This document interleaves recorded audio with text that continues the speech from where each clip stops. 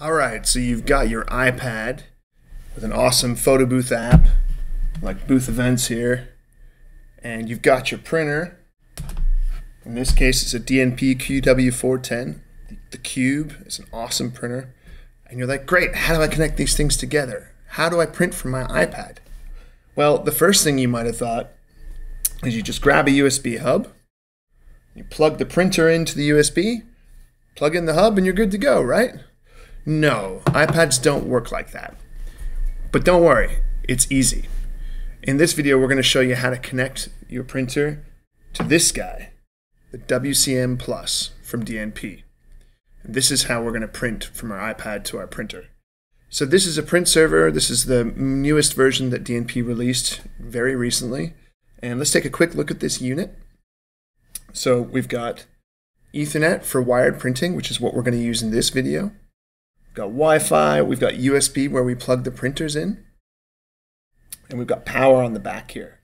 And the power is USB-C, so if you're used to powering this from the printer, make sure you have a USB-C end to power it from here. Okay, great. So let's get into how we connect these things up.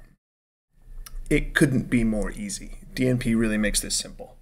So we're going to take an Ethernet cord, wired networking cord, looks like that kind of has big telephone ends on the end, if you remember those. And we're going to plug on the one side, we're going to plug it into the only hole that it'll go in on the WCM Plus. And then we're going to take a USB hub like this guy here from Dockteck. We recommend the Dockteck USB-C hubs. They're really reliable. And it too needs to have an Ethernet port. Your USB-C hub needs to have an Ethernet port. Okay, we're going to take the Ethernet cable, plug that into the USB-C hub like so. And then we're going to take the USB-C hub and plug it into the iPad, like this. All right, we're almost done. Last thing we need to do is plug the printer into the WCM Plus. So let's do that. I'm going to grab the USB-C cord here. This is plugged into my printer on the other end, and I'm going to plug this end into the black USB ports on the side here, on the end, like so. Okay, and then I'm going to power the WCM Plus with USB-C, like so. And that's it. That's all of the connections that you need to do. So into the WCM Plus goes power, Ethernet, which is to the USB-C hub, and USB to the printer. Okay, the next thing we need to do is set this up in software. Let's have a look and see how we configure the WCM Plus.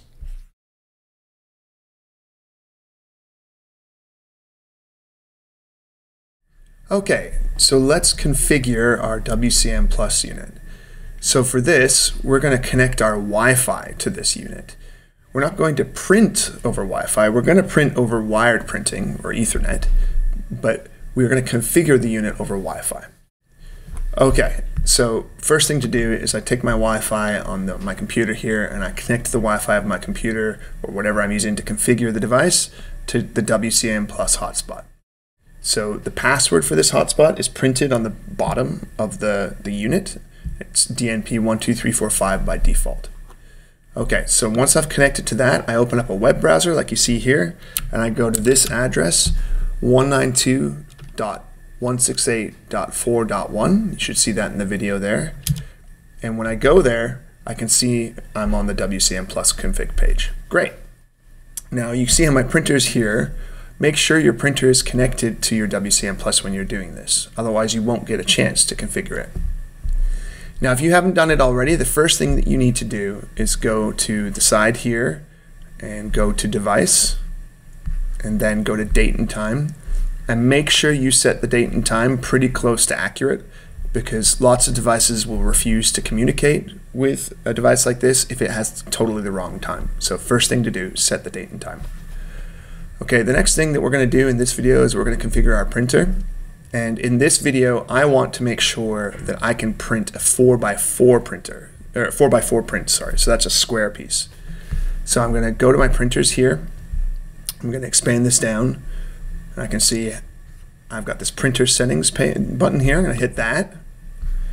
And you can see I've got some options here about the finish and the print sizes. And sure enough, you can see I've already got 4x4 selected. So that's great. That's, that's what I want for this, for this example. Fabulous. And that's really all there is to configuring the WCM Plus. There are other options, but we're going to skip those for now. And now let's take a look at how we add this in the Booth Events app.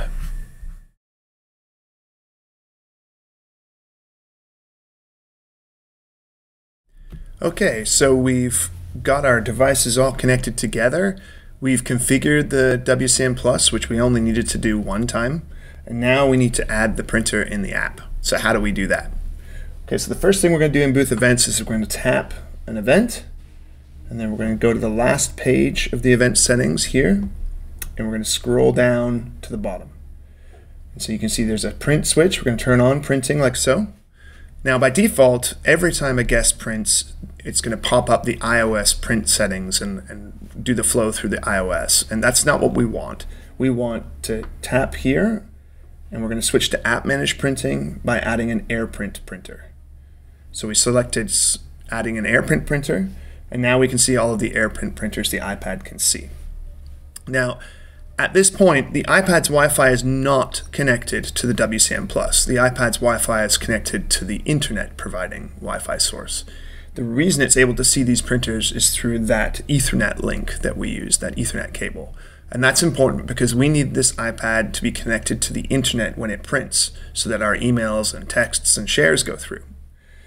Now, the other thing to notice here is that you can see the app is seeing the printer twice. There's only one printer connected here, but it's seeing it twice. And the reason for that is I selected two paper sizes.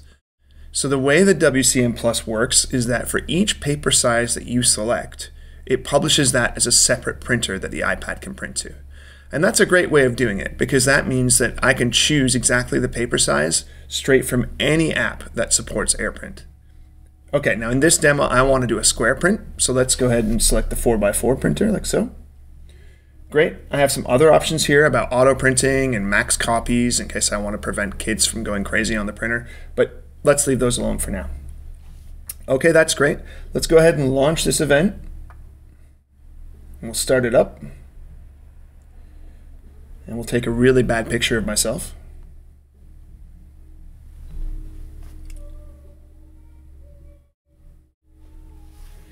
Okay, here's a phenomenally poor photo of me. We'll switch up the background like that. Hit choose. And now we're going to print that guy. So I hit the print button and you can see how many prints. This is all mm, done in the app, no pop-up or anything like that. So I hit print. And now we're going to give 2,000, 3,000, 4,000, 5,000, 6,000, 7,000, about 7 seconds to start spooling. That's very fast. Much faster than the WCM2 was. Okay, great. And that's it. Now my print's going to come out, and we're all done.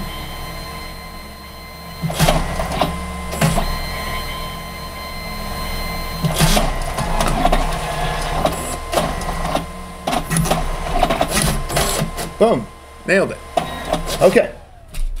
If you have any other questions, uh, please hit the question mark on our app or website to contact us. You can also leave comments here. And uh, if you have suggestions for other videos you'd like to see, we're always happy to hear those too. Thanks a lot for watching.